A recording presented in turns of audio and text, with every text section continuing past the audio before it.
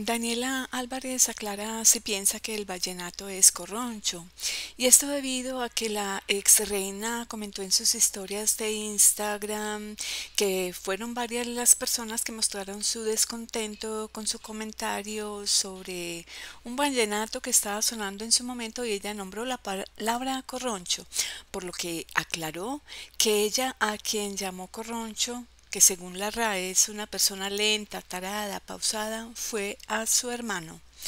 Como indicó Daniela Álvarez, que logró bucear sin su pierna biónica, aseguró que le dijo de este modo a Ricky Álvarez porque él llegó a las 4 de la tarde a su apartamento y puso música a todo volumen. No se refería específicamente al tema que sonó en ese momento, que era de Diomedes Díaz. La gente no entiende que yo soy súper costeña, me encanta la champeta. Mucha gente dirá que la champeta será corroncha, pero yo soy líder de la champeta. Me encanta el vallenato, comentó la presentadora del desafío que regresa este 2021 con la versión de Vox.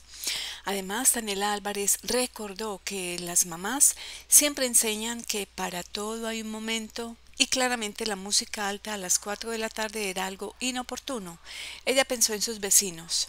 Por eso le dije, hermano, no, a esta hora no, no seas tan corroncho, explicó la también influenciadora quien hace apenas algunos días bailó salsa choque junto a Ricky y demostró que ya maneja muy bien su pierna biónica.